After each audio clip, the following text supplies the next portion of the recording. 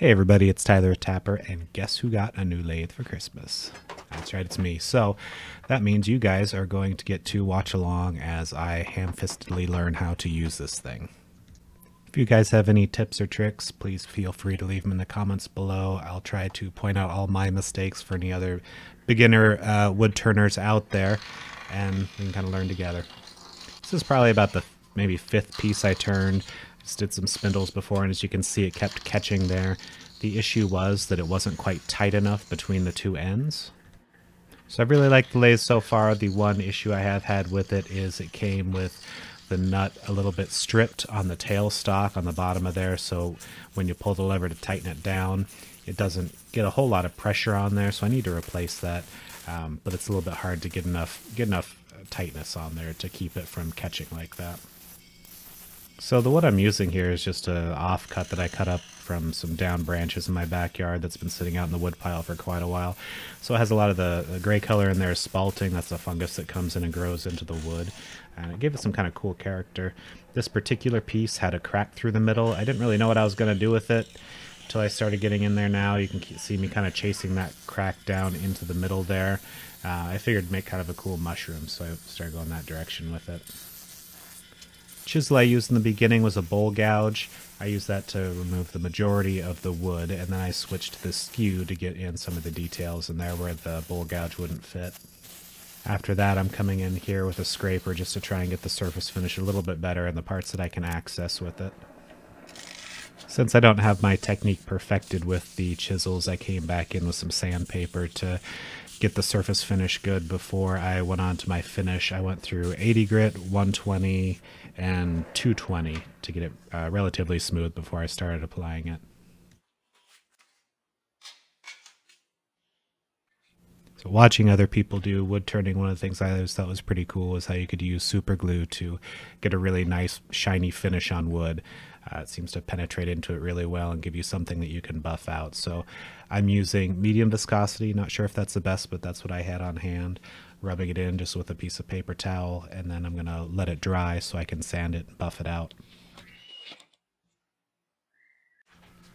Played around a little bit with the grits. Um, I figure since I stopped at about 220, I would start up on the super glue at 320. And I use this Feed-N-Wax. It's a beeswax and orange oil. I use this basically as a lubricant to keep the paper from clogging up. I went real light on the 320 just to knock down the ridges, and then I moved up through the grits to get it polished. Turns out that sandpaper gets a little bit uh, slippery when you get all that oil all over it. So went from the 320 to the 500 to the 800 to the 1000 and I've done 1200 on some but I don't see a whole lot of difference. After the sanding was done to give it a little bit of a buff I went in there with some toilet paper. I didn't want to scratch it with paper towels. Uh, I was really impressed with the finish that came out of that. I've never seen pine or seen a softwood really do the tiger's eye effect like this did after that. So flipping the camera around while it was still on the lathe so you could see the contrast between the, the white wood of the pine and the part that was spalted that the fungus had gotten into. Really kind of a cool look.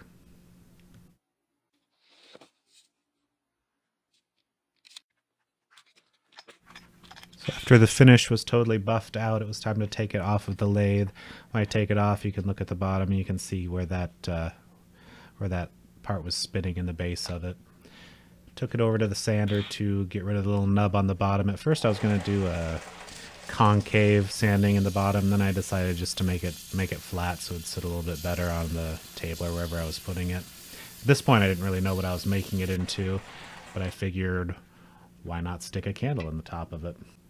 Rounded top obviously didn't work too well in there, so I'd use a Forstner bit to create a cavity in there. It's kind of, usually it would be kind of a problem doing that on a dome, but because the tailstock had pushed that uh, center into there, it gave me a reference of exactly where to drill it in there, and it kept the Forstner bit uh, right on the right path because it already had that start for it. It's like a pilot hole for it built in. I wasn't super concerned about the finish on the inside where the candle went in because I figured it'd be covered most of the time, but I didn't want it to just be raw wood. So I went in there and I did a layer of super glue on there, wiped it in, and then I came back in with a sanding roll, just did a little bit of sanding on the drill press, and then put another layer of super glue on there to make it relatively smooth.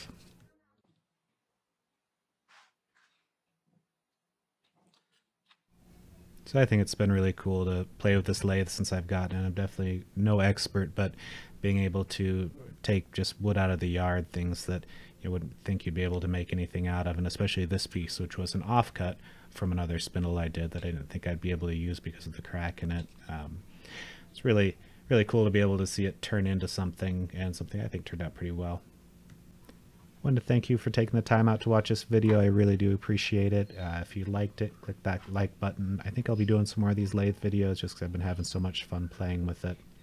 If you know anybody that you think would like the video, please share it around. That really helps me out, and I will see you guys next time. Hey everybody, I want to let you know that I'm starting up a Patreon campaign. Uh, if you guys are feeling generous, I'd love it if you'd check down the description. There's a link down in there to my Patreon page where you can donate. Otherwise, I really appreciate your continued support just by watching the videos. Thank you.